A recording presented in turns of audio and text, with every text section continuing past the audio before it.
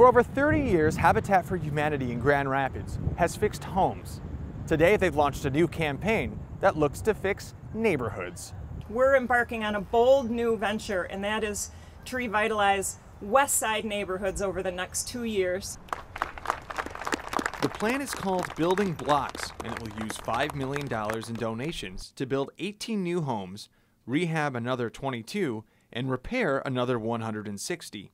Up until now, 30 years, it's taken us to impact the lives of 400 families through our work, and now we want to actually impact 200 more families in the next two years. The focus of the revitalization will be homes around five schools on the west side. It's not coming in and tearing down everything and rebuilding. We're not gentrifying neighborhoods. We're actually rebuilding and sustaining existing neighborhoods. Better homes mean better communities. What it's going to look like, we're going to see less uh, vacant homes. We're going to see homes looking better. We're going to see uh, property values increasing. And another benefit? Uh, definitely, it definitely is starting to impact level of crime because more families are getting to, to know who each other is in the community. More homeowners, more taxpayers, more resources available to put back into the city.